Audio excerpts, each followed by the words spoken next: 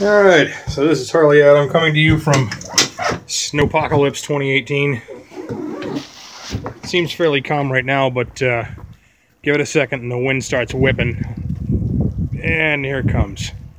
Uh, winds are blowing about 25 to 35 miles an hour regularly with uh, gusts up to about 45 or 50. As you can see, we're uh, we're getting kind of deep here. Up in the northeast section of the country, snow's getting kind of deep. Yeah, you can probably see it right there, how deep it's getting.